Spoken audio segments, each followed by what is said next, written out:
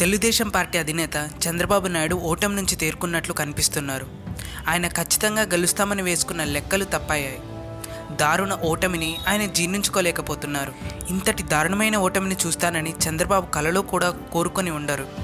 Telugu Desam party ఆవిర్భావించిన తర్వాత ఇంతటి హీనమైన ఫలితాలు సాధిస్తామని ఆయన ఊహ కూడా అంది ఉండదు.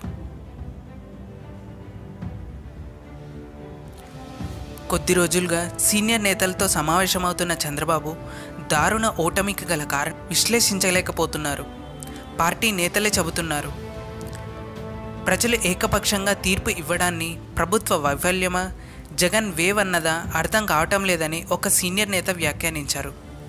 సభలకు భారీ ఎత్తున వచ్చిన ప్రజలు అవి ఓట్ల రూపంలో రాలేదని మదనపడుతున్నారు. జగన్ వస్తే అభివృద్ధి ఆగిపోతుందని చెప్పిన తన మాటలను ప్రజలు విస్ విశ్వసించపోవడానికి కారణాలు చంద్రబాబు అన్వేషిస్తున్నారు.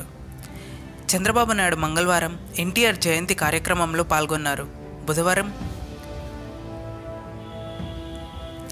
టీడీఎల్పీ సమావేశాన్ని ఏర్పాటు చేశారు. కొత్త ప్రభుత్వానికి ఆరు నెలల పాటు సహకరించాల్సి ఉంటుందని ఎటువంటి విమర్శలు చేయవద్దని నేతలకు సూచించారు. దారుణ ఓటమి పాలైన చంద్రబాబు హైదరాబాద్ వెళ్తారని అందరూ భావించారు. కానీ ఆయన అమరావతి వదల్లేదు. ఉండవల్లిలోనే ఉండి నేతలకు ధైర్యాన్ని నూరిపోస్తున్నారు. రెండు వేల ఇరవై నాలుగు ఎన్నికల్లో పాటు రానున్న స్థానిక సంస్థల ఎన్నికలపై దృష్టి పెట్టాలని ఈ ఎన్నికల్లో టీడీపీకి ముప్పై తొమ్మిది శాతం మంది ఓట్లు వేశారని వారి నిలబడాల్సి ఉంటుందని చెబుతున్నారు.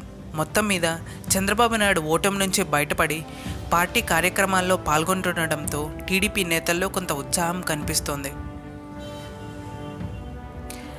అయితే ఇక టీడీపీ పార్టీ అయిపోయిందని దాన్ని కాపాడడానికి జూనియర్ ఎన్టీఆర్ ఒక్కటే మార్గమని సోషల్ మీడియాలో వైరల్ అవుతున్న వార్త విని చంద్రబాబు నాయుడు కలవరపడుతున్నాడు. ఈ విషయంపై పార్టీ అధిష్టానంతో సంప్రదింపులు జరిపి ఒక నిర్ణయంపైకి వస్తానని చంద్రబాబు నాయుడు అన్నారు. మరి ఇందుకు జూనియర్ ఎన్టీఆర్ ఏమంటారో వేచి చూడాలి మరి.